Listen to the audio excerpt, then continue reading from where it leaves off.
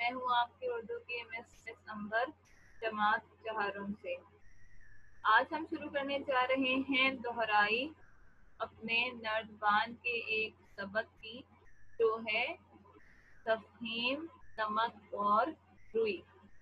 उसको शुरू करने से पहले हम ये समझ लेते हैं कि तफहीम किसे कहते हैं।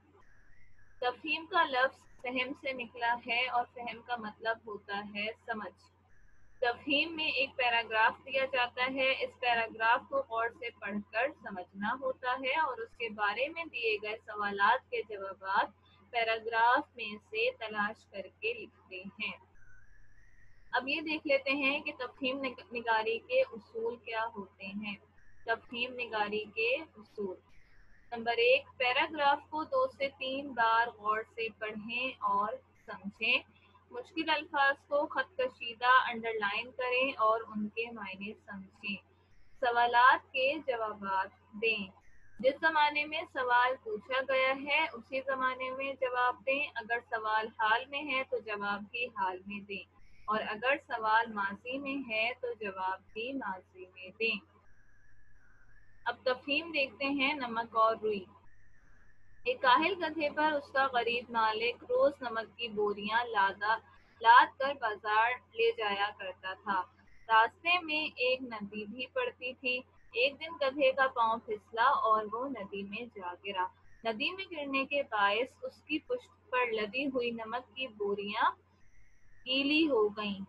जब गधे के मालिक ने उसे खड़ा किया तो उसे अपना वज़न बहुत कम महसूस हुआ, क्योंकि नमक पानी में घुल चुका था। उसे ये तरीका जानकर बहुत खुशी हुई। फिर तो वो अक्सर ही ऐसा करने लगा। जब भी वो नमक की बोरियों, बोरियाँ लादे हुए नदी के पास से गुजरता तो जानबूझकर पानी में गिर जाता और सारा नमक जाया हो जाता। आखिर गधे का मालिक समझ गया कि गधा जानबूझकर ऐसा कर रहा है और अब उसे सबक सिखाना ज़रूरी है। चुनाचा एक दिन उसने बोरियों में नमक की बजाय रुई भर दी और गधे पर लाद दी। हँसते मामूल गधा जब नदी के पास पहुँचा तो उसने खुद को पानी में गिरा दिया। अब गधे ने उठकर चलने की कोशिश की तो उससे उठा ही नहीं गया, क्योंकि रुई ने पानी जज्ब कर लिया था। रुई गीली होने के बाद पहले से कहीं ज़्यादा भारी हो गई थी। उस दिन गधे ने बाज़ार तक का सफ़र बहुत मुश्किल से तय किया और आइंदा ऐसी हरकत से तौबा कर ली। अब इसके हम देखते हैं आपको क्या मश्क दी हुई है। अलिफ में दिया हुआ है, इबारत पढ़कर दर्जेल सवाल के जवाब मुकम्मल जुमलों की सूरत में लिखिए। पहला सवाल आपको दिया हुआ है, गधे का मालिक उस पर क्या लादा करता था? नंबर दो पानी में गिरने के बाद नमक की बोरियों का वज़न कम क्यों हो जाता था?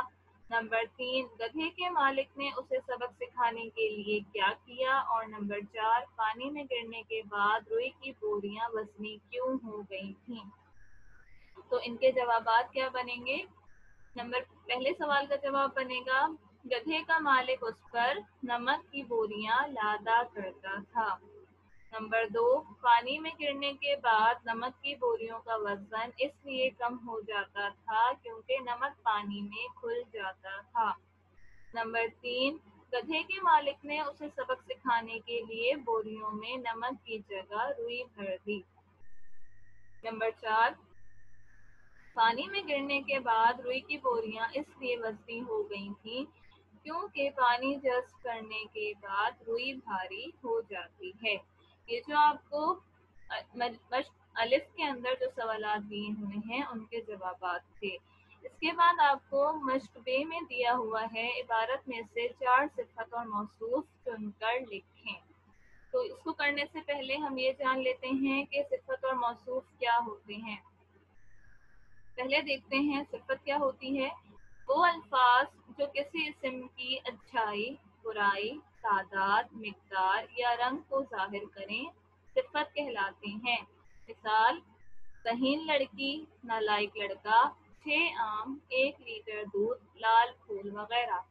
मंदरजा वाला मिसालों में जहीन, नालायक छः एक लीटर और लाल सिफत हैं। उसके बाद आ जाइए मौसूफ पर। जिस इसम की सिफत बयान की जा रही हो, वो मौसूफ कहलाता है।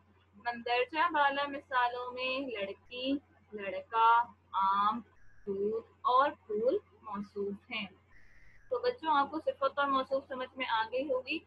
तो हमने इस सबक के अंदर से कौन कौन से सिफत और मौसूफ ढूंढे हैं? पहला हो गया सिफत काहिल मौसूफ गधा। सिफत हो गया गरीब मौसूफ मालिक। सिफत सारा मौसूफ नमक।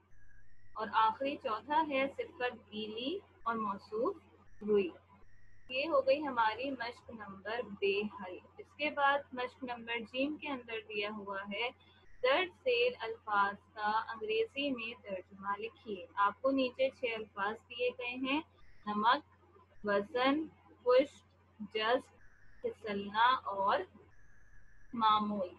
तो ये अब आपका होमवर्क है कि आप इन अल्फाज का अंग्रेज़ी तर्जुमा ढूंढकर यहाँ पर लिखेंगे। उम्मीद है बच्चों, आपको लेक्चर समझ में आ गया होगा। जो बातें आपको समझाई गई हैं, उनको अच्छे तरीके से जहन नशी कर लीजिएगा। अपना बहुत सारा ख्याल रखिएगा। अल्लाह हाफिज़।